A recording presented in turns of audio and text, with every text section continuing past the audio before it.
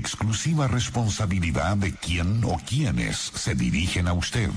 El invitado de hoy, Informativo Forever, FM.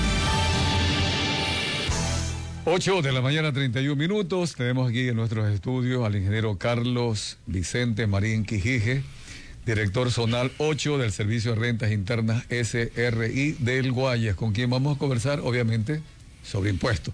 Primero, la bienvenida, Carlos Vicente. Buenos días. Muy buenos días, muchas gracias por la invitación. Buenos días a toda la ciudadanía. Sí, eh, con alguna sorpresa, he leído la noticia. El Servicio de Rentas Internas ha detectado comportamientos fraudulentos en los contribuyentes que elaboran bajo la modalidad de relación de dependencia. ¿Cómo se ha dado este asunto? Bueno, uno de, los trabajos fundamentales de la administración tributaria es velar por el fiel cumplimiento de las obligaciones tributarias de los contribuyentes. En ese sentido, pues tenemos nuestro plan anual de control tributario, que donde se hacen auditorías a los grandes contribuyentes, monitoreos fiscales a los medianos, pequeños, y entre ellos también se hacen controles sobre eh, las devoluciones, y ese es el tema que usted menciona. Son procesos en donde contribuyentes eh, se han dejado engañar por terceros, en donde les dicen, dame la clave de tu cuenta del SRI que yo te voy a, corregir las declaraciones y lo que hacen es falsearlas. Esto provoca créditos tributarios inexistentes, lo que provoca devoluciones ficticias. Entonces se han detectado estas anomalías en este grupo de contribuyentes que son empleados en relación de dependencia y nosotros tomaremos las medidas que establece la ley.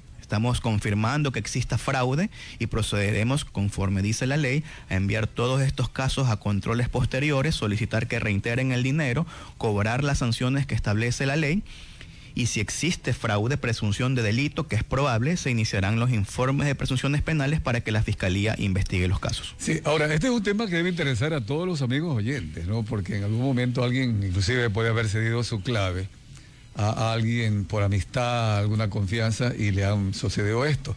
Pero yo pregunto, si alguien trabaja en relación de dependencia, es obvio que hay el departamento contable que maneja los roles de pago, que hace las declaraciones, las retenciones, etcétera. Y también debería haber alguien dentro del SRI que de alguna forma debe estar de acuerdo con esto. ¿Esta parte es así o no en la investigación?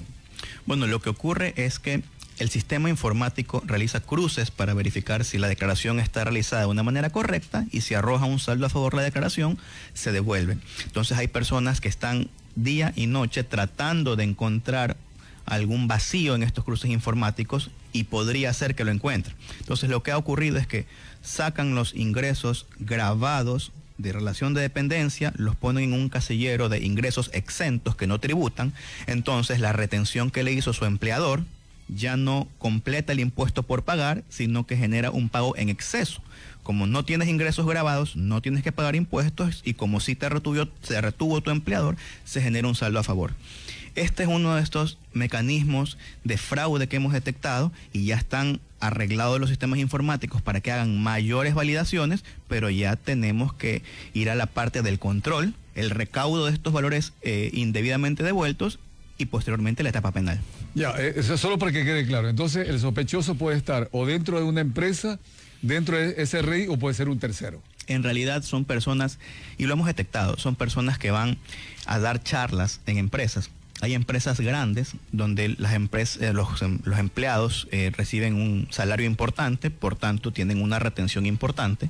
Y hemos detectado que hay personas pues que van a ofrecerles, hacen grupos, los, los, los llaman a una charla y les ofrecen devoluciones de impuestos y ellos pues no sé, ah. ven dinero fácil, no lo sé, y les entregan la clave, pues rectifican, no las rectifican, falsean estas declaraciones y obtienen estos beneficios, pero ya detectamos cuáles son estas empresas, ya las notificamos y, estamos pero cuando sale el dinero del SRI en devolución, el cheque a nombre de quién o la transferencia a nombre de quién va a salir. Eso es bien importante. El, a ojos de la administración tributaria, a simple vista, el defraudador es la persona natural quien con su clave envió esa declaración, con su clave pidió la devolución y a quien se le depositó. A esa clave. A él. Ahora, el señor, pues cuando lo llame la fiscalía, tendrá que informar, cuando la fiscalía le investigue, quién es el que le ha hecho eso. Y esto ocurre en muchas situaciones. Hay otro factor interesante como es el tema de la tercera edad. a, los, a las personas, a los ancianitos de la tercera edad, también los están estafando, a ellos los estafan. Hay personas que van a sí mismos, hacen reuniones, los llaman, les dice el Estado te va a regalar un bono, pues, no es ningún bono, es la devolución del IVA de la tercera edad. Entonces los engañan, les piden su cuentita, cuando el SRI les acredita las devoluciones inexistentes, porque estas personas falsean facturas, les acreditan la devolución y los viejitos reciben 30 dólares de 100, 30 dólares de 1000. Entonces, ahí está la discusión. ¿A quién denuncio? ¿A la persona de la tercera edad? ¿Quién ingresó a la devolución? La persona de la tercera edad. ¿A quién le deposita el dinero? La persona de la tercera edad. Pero en realidad, esta persona es un estafado.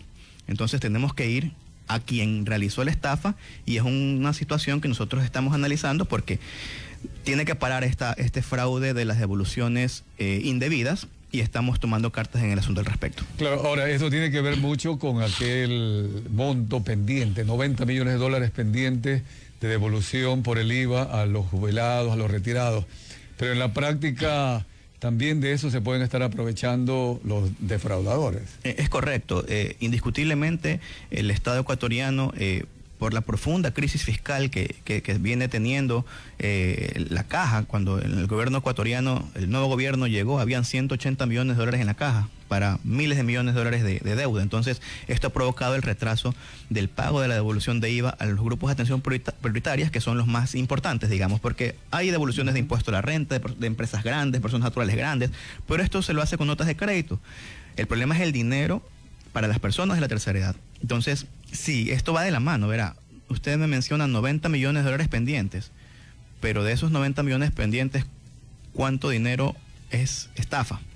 ¿Cuánto dinero no debía de ser devuelto porque hay estafadores detrás? Pero ¿cómo sabe el jubilado o la persona que está retirando su devolución que lo están estafando? Bueno, de hecho, eh, nosotros tenemos campañas informativas, lo hacemos. Hace algún tiempo yo personalmente me fui al, sector donde estaban las devoluciones, en el SRI, el piso 2, recuerdo, y había un grupo de personas y un, tercero ahí parado, ¿no? Que los lleva. Y yo les dije, por favor, cuidado, no se dejen estafar. Este es probablemente eh, los están engañando. ¿Usted cuánto compra en el mes? No, yo no compro nada, me dijo una, una viejita. Y yo le dije, entonces, ¿qué es lo que viene a hacer aquí? No es que me trajeron, todo un cuento, ¿no? Mm. Entonces yo les dije, por favor, no hagan esto porque se pueden meter en problemas legales, por favor. facturas que ya no había. Pero, pero en la práctica igual lo hicieron. Entonces lo que hicimos fue esperar a que se vayan para revisar las facturas. Se nota que son facturas fraudulentas y detuvimos ese proceso. Entonces, por más de que tú intentes, intentes, intentes, no sé si es la falta de conocimiento y, de conocer la responsabilidad que te viene. Eso le voy a decir. Y por otro lado te voy a devolver X, aunque no hubiera facturado nada, no hubiera comprado nada, X valor, un porcentaje de lo que van a recibir. Eso le voy a decir. Por otro lado, la necesidad. Si a ti te dicen te voy a dar 30 dólares y tú necesitas, aunque te vayan a acreditar 200, tú coges tus 30 dólares. Cuando ya se dan cuenta que en su cuenta había más dinero y se las han sacado, ahí vienen las quejas, los problemas, pues y les explicamos todo lo que ocurre. Saskia. Eh, bueno, en los exteriores del SRI y por coberturas me ha tocado a veces, hasta me he topado con ese tipo de personas, ¿no? Que son los famosos tramitadores, ¿no? Y te pueden en ese momento envolver más aún una persona ya, un adulto mayor. Pero ¿qué pasa con las empresas cuando ya te tocan la puerta de, una empresa? Obviamente estas son empresas fantasmas, es un delito realmente. ¿Cómo saber eh, si esta empresa eh, es buena o es mala? ¿Cuáles son las recomendaciones para no abrirle las puertas a cualquier persona que están haciendo este tipo de estafas? Bueno, eh, las empresas fantasmas existen desde hace muchos años y la administración tributaria me parece que desde las auditorías de los años fiscales 2004, 2005, cuando, cuando se hacían estos procesos de control se empezaron a detectar facturas de 100 mil, 200 mil dólares que no tenían una transacción real por detrás y que se usaban para disminuir la utilidad y pagar menos impuestos. Pero más adelante, en el año 2016-17, ya se hicieron los controles masivos de las empresas fantasmas, no sé si ustedes recuerdan. Se lanzó un catastro como de 500 empresas fantasmas, ya vamos casi por mil después de tantos años. Y lo que se hace ahora es masivamente. Antes, en cada auditoría detectábamos comportamientos anómalos. Ahora lo que se hace es bajar, eh, desde el 2017, se bajó masivamente la base con modelos matemáticos para detectar casos anómalos, transacciones inusuales, y de ahí se sacaron los 500 primeros contribuyentes y se continúa con eso ya no, ya no es tan público la venta de facturas. Antes teníamos en Facebook, en los, en los OLX, en esa época que existían, decían venta de facturas, a vista y paciencia de todos. Entonces ya eso no existe. Ahora se trata de evadir impuestos de otras maneras, se trata de simular de manera distinta. Ahora, al menos si es que vendo una factura, provoco que tú me pagues para que al menos quede un registro financiero, pero después yo te devuelvo la plata. Ya se toman un poquito más de tiempo para tratar de... Con la facturación electrónica también como que se ha controlado mucho más. Por supuesto, con la facturación física yo tenía unas imprentas que se prestaban para esto y ellos imprimían las facturas. Ahora con la electrónica yo sé día a día quién está emitiendo, por cuánto monto. Entonces, todos son procesos eh, que van avanzando con ayuda de la tecnología para evitar estos fraudes, pero de seguro todavía tienen que existir, pero nuestro trabajo es ir atrás de esto. Ahora, justamente respecto al control tributario es el llamado monitoreo fiscal que vamos a hacer, porque el monitoreo, el monitoreo fiscal no es por las devoluciones de, los relación, de los empleados en relación de dependencia. En realidad eso es fraude. En realidad el monitoreo fiscal lo que busca es incentivar el cumplimiento de las obligaciones tributarias actuales. ¿Qué hace el SRI? El SRI te controla las obligaciones de los años anteriores, 2020, 2021, 2022. Ahora estamos diciendo, por disposición de nuestra máxima autoridad, ¿saben qué? De una vez fomentemos el cumplimiento actual. Entonces, hemos notificado, hoy estamos día 12 de marzo, los vencimientos para la declaración del impuesto a la renta empezaron el 10 de marzo. Antes del 10 de, de marzo hemos notificado a miles de contribuyentes diciéndole, tu declaración del año pasado eh, aparentemente reporta una carga fiscal inferior a la rama económica donde tú trabajas, inferior a la del promedio. Entonces, con bajo este comportamiento, yo te estoy avisando que este año deberías presentar tu declaración con información correcta, racional, con una utilidad y una carga fiscal racional, porque luego de que presentes la declaración, te lo voy a revisar.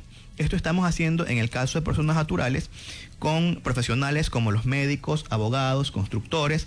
Estamos haciéndolo con los anfitriones de Airbnb, que el año pasado hicimos un, barrido para que se catastren todas estas personas. Lo estamos haciendo con estos freelancers, que son los nómadas digitales, personas que trabajan en cualquier parte del mundo, incluso en Ecuador, y facturan desde su escritorio, programan, hacen cosas en, tecnología y trabajan para empresas del exterior. Entonces hemos detectado por el, el, cruce de información que, que tenemos y el intercambio de información global que tenemos, personas, no sé, que están en Guayaquil trabajando, no tienen ningún RUC, pero reciben transacciones del exterior de 50 mil, 100 mil dólares. Entonces, disculpe, ¿y este, ¿y este dinero de dónde? Son ingresos que tienes que tributar en Ecuador.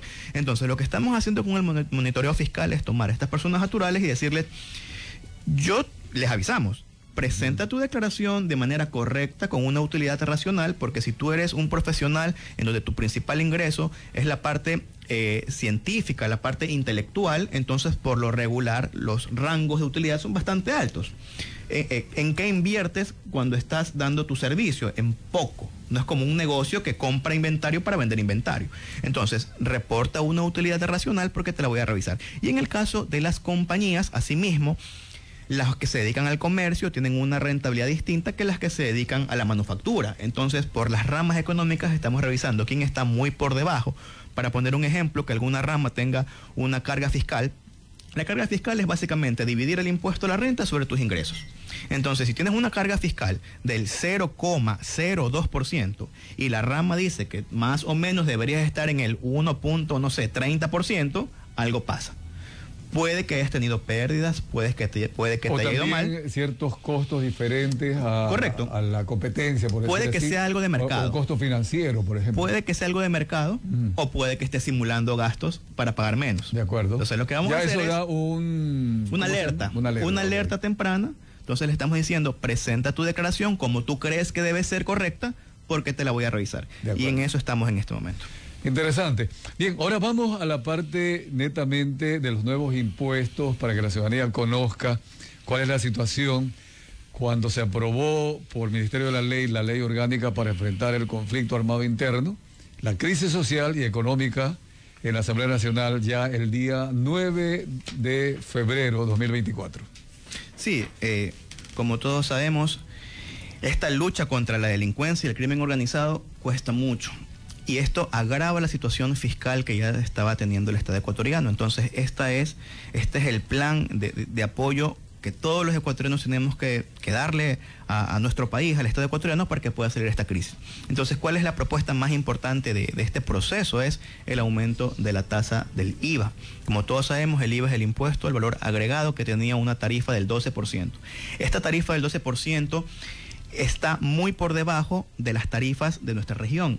Nosotros si vemos a nuestros vecinos, por ejemplo, Colombia tiene una tarifa del 19%, Perú del 18%, nos vamos un poquito más abajo, en Argentina está del 21%, en, en Uruguay del 22%, se me ocurre. Entonces nosotros tenemos una oportunidad de subir un poquito el IVA y aún así vamos a estar por debajo del promedio de todos los vecinos de la región. Entonces, eso es lo que estamos proponiendo, que el IVA aumente al 15%, pero por dos años quedó en, en la ley que está por publicarse en el registro oficial. Importante esto, una vez publicada en el registro oficial, suponiendo que se publica ahora en este mes de marzo, entrará en vigencia, según lo que dice la ley, el 1 de abril, el primer día del siguiente mes, ya todos los bienes y servicios que estén grabados con IVA tendrán que facturarse con la tarifa del 15% por, los, por el tiempo que diga la ley y luego bajará al 13% porque así se lo ha establecido. Pero es sumamente importante que nosotros entendamos que no necesariamente van a subir los precios de todos. ¿Por qué? Porque ya está grabado en Ecuador muchísimos bienes y servicios con tarifa 0% de IVA justamente para no encarecer los bienes de primera necesidad.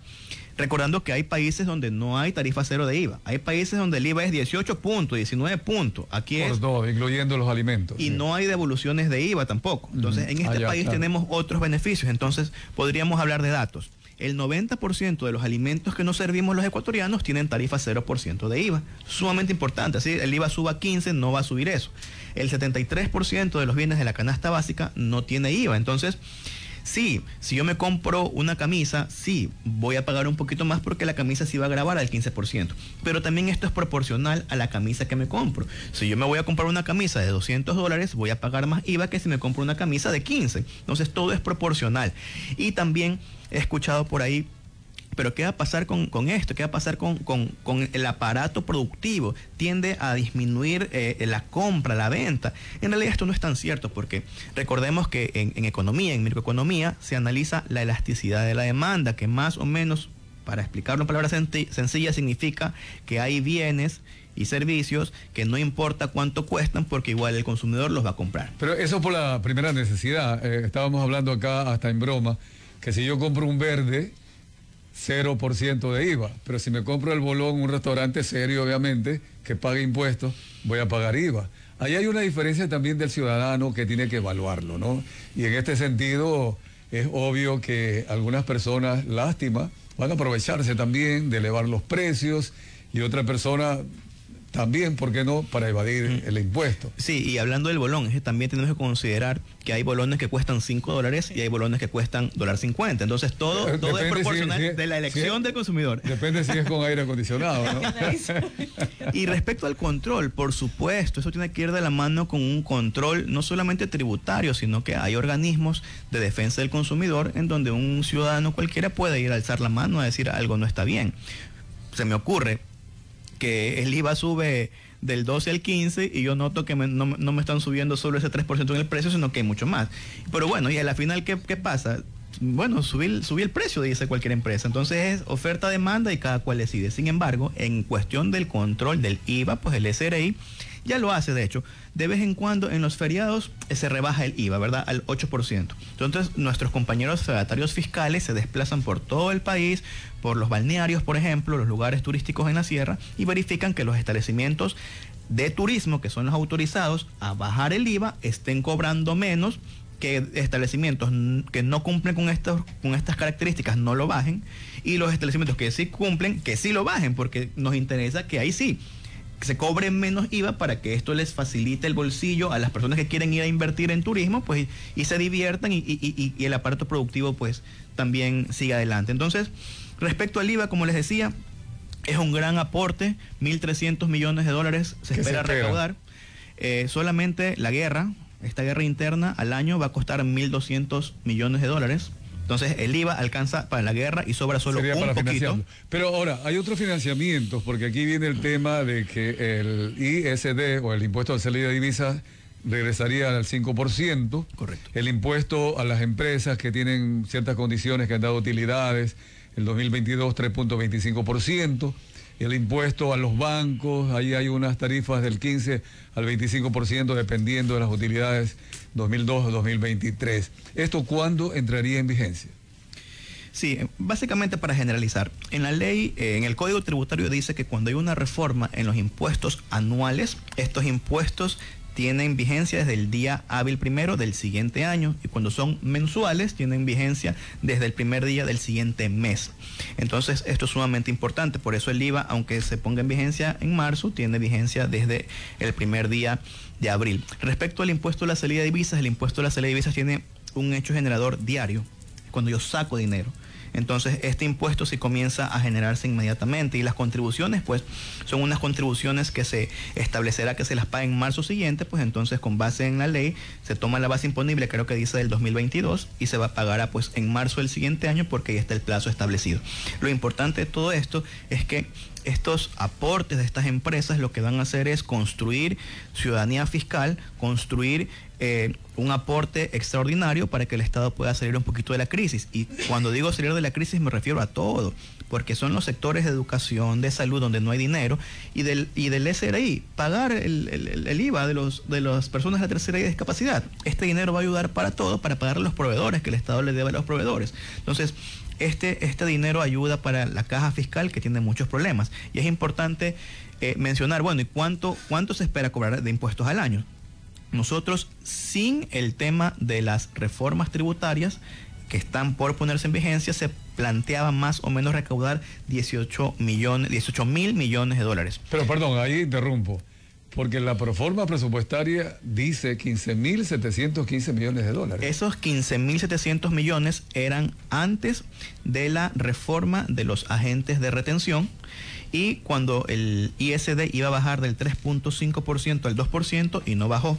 Entonces, y, qué bueno que leemos de esto. ahora se lo incorpora. Qué bueno que leemos de esto. El objetivo es 18.193.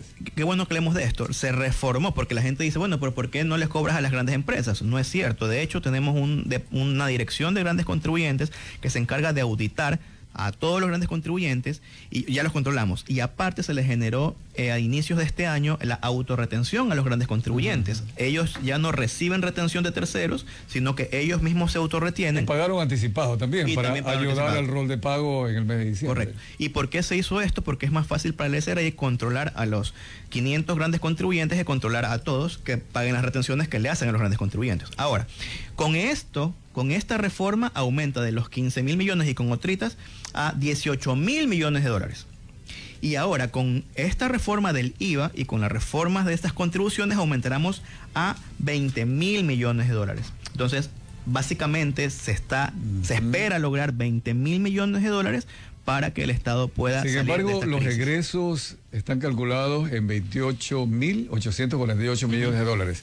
Todavía ahí lo que estaría entonces haciéndose es disminuir el déficit fiscal. Es correcto, es correcto. Pero va a quedar igual un déficit. Y ese es la, el problema de no solo de Ecuador, sino de casi todos los países del mundo, hasta las potencias, tienen estos problemas porque después de la crisis del COVID no se han logrado estabilizar sí, pero también venimos con problemas estructurales desde hace tiempo atrás, Carlos, en el sentido de que se administró muy mal los ingresos.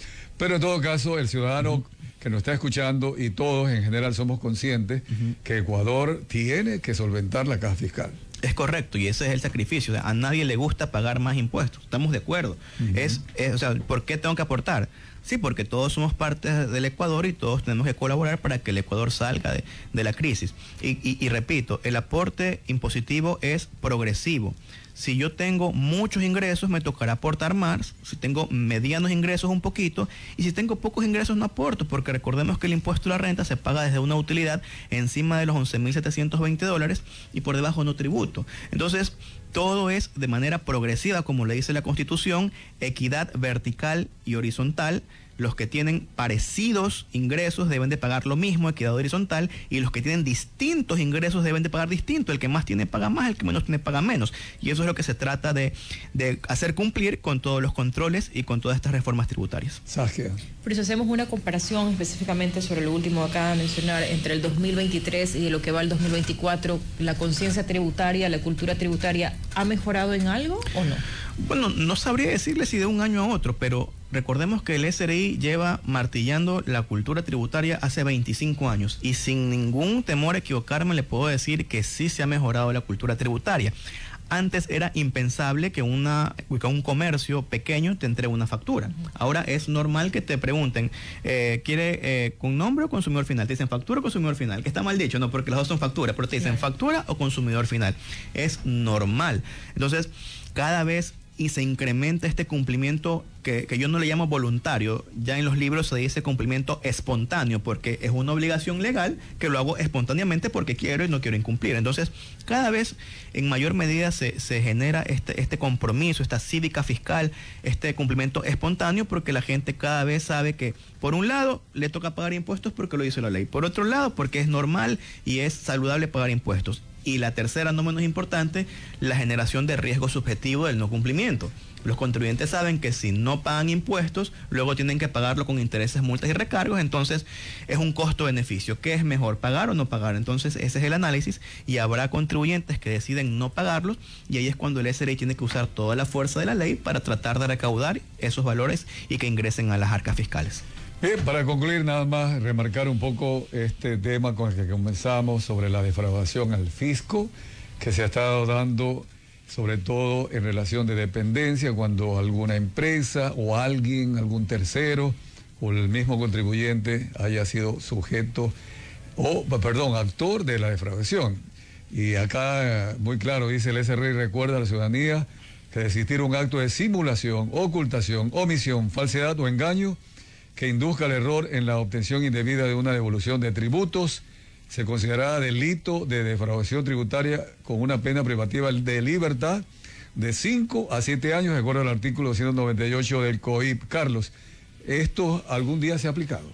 Sí, de hecho, eh, con las empresas fantasmas hay personas que han sido sentenciadas y, siempre publicamos. De hecho, hacemos boletines de prensa diciendo en tal ciudad se sentenció a tal persona.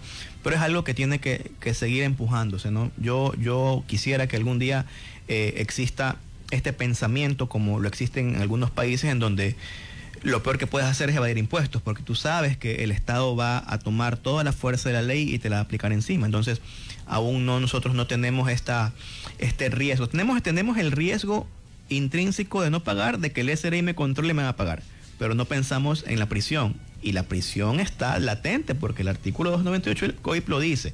Pero sí tenemos un departamento penal, presentamos muchas denuncias en la fiscalía, de hecho, pero eh, como estos procesos son largos, pues estamos a la espera de que, de que, que el, fiscal acuse, que los jueces sentencien, entonces es un proceso del cual estamos pero ¿qué decirle a aquellas personas que cuestionan que solo al que no tiene abogados se le hace las glosas, se le persigue y se le obliga a pagar. Pero que sí tiene abogados y de eh, cuellos blancos, etcétera, ahora que estamos con metástasis y purga, yo sé que este es otro asunto, a la hora de la hora salen adelante y evaden siempre los impuestos. Bueno, es una realidad. Lo hemos visto en el caso Purga, en Metástasis. Es una realidad que hay problemas en el sistema de justicia y así como se ven en las noticias esto desde el punto de vista penal, también se lo ve en el penal tributario, y no solo en el penal tributario, sino en el, eh, en el contencioso tributario. Entonces lo que usted dice es muy cierto. Nosotros tratamos de hacer los controles, controlamos más a los más grandes, de hecho, ¿no? Nosotros controlamos más a las empresas grandes. A una persona natural no se le hace una auditoría a menos que tenga ingresos de millones de dólares. A los más pequeños les hacemos otro tipo de controles, como el de monitoreo fiscal, por ejemplo otro tipo, que no son pequeños tampoco, no es una, un médico que puede facturar 300 mil, 400 mil dólares, pero lo llamamos pequeño porque vamos a los que ganan millones, ¿no? Entonces, de hecho, nosotros controlamos más a los más grandes porque si no, ¿cómo llegamos a los 20 mil millones? Tenemos que priorizar, la pregunta, tenemos que priorizar la materialidad en los procesos de control. Ahora, nosotros hacemos el trabajo de establecer actas de determinación con observaciones y claro, al final dependerá de las cortes quienes deciden quién tenía la razón, el contribuyente. Luego también que los abogados defensores del Estado sepan defenderlo, ¿no? Porque Ah, por ahí también hay situaciones. De hecho, de hecho, yo tengo una escuela de abogados en, en mi dirección zonal en donde he fomentado esto, porque estoy totalmente de acuerdo con usted. ¿De qué sirve que le hagamos una auditoría si luego un abogado no sabe defender al Estado? Y los abogados del Estado deben estar bien preparados porque el abogado del Estado es el abogado de todos los ecuatorianos. Interesante. Ojalá que todo esto sirva para ir mejorando como ciudadanos y mejorando como Estado. Hay mucho, mucho por hacer. Gracias al ingeniero Carlos Vicente Marín Quijije, director zonal 8 del Servicio de Rentas Internas SRI Guayas, por haber estado el día de hoy con nosotros, compartiendo todas estas novedades con usted, amigo y amiga que nos ha escuchado. Gracias, Carlos. Muchas gracias, buen día. Buen día. Vamos a la pausa comercial.